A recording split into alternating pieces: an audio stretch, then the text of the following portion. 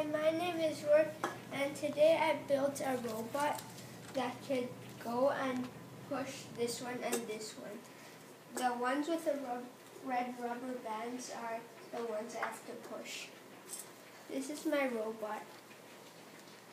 At first it was just like this with a color sensor, but then I noticed I can't push them off, so I added this which made it really hard to download because I have to put the wire through this part and into here. And that's basically it. My program is to, is to go back to align with a wall, which I'm going to use a book for. So, and then I'm going to move here, turn, and then go until it sees the line. Then follow the line for a certain amount of time, then push this very far because if it pushes close, then it will just knock these, which I'm not supposed to touch. So I go really far, turn, and then go until I see black again.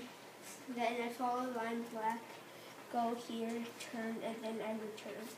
Okay, now I will try it.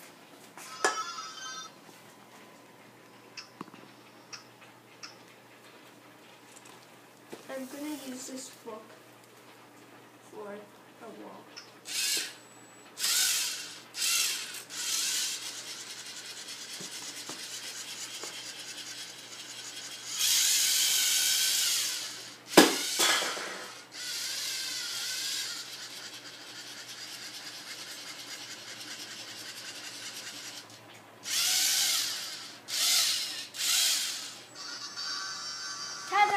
That was the end of the program.